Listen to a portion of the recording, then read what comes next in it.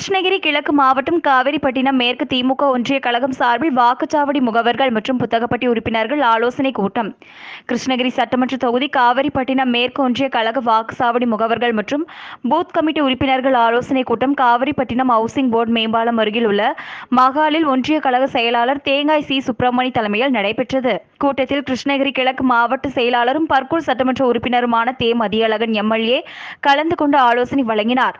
இதைத் தொடர்ந்து வரும் இருபத்தி இருபத்தி மூணாம் தேதி கலைஞர் சிலை திறப்பு விழா பொதுக்கூட்டம் கல்யாண வரவேற்பு நிகழ்ச்சி ஆகிய நிகழ்ச்சிகளுக்கு கிருஷ்ணகிரி கிழக்கு மாவட்டத்திற்கு வருகை தரும் தமிழ்நாடு முதலமைச்சர் மு ஸ்டாலின் அவர்கள் வருகையொட்டி ஐம்பதாயிரம் பேர் கூட்டத்தில் கலந்து கொள்ள வேண்டும் என மதியழகன் எம்எல்ஏ பேசினார்.